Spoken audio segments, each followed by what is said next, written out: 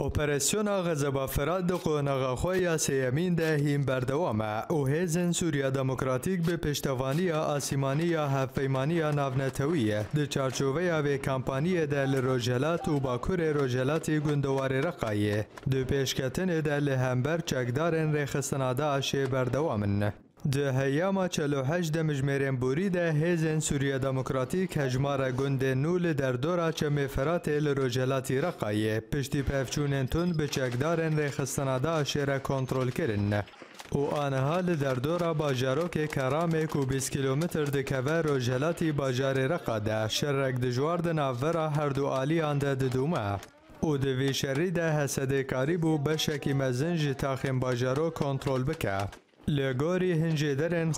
جو گندوار رقا تانها شر لبش روجاوای باجاروک کرام یه بسر ناوندا بیرها باود دومه هر وها ده هیاما شر ده هیزن دموکراتی گلکچک و جبل خانه لگل کشتنا هجمارک چکدارنده آشیده سسر کرن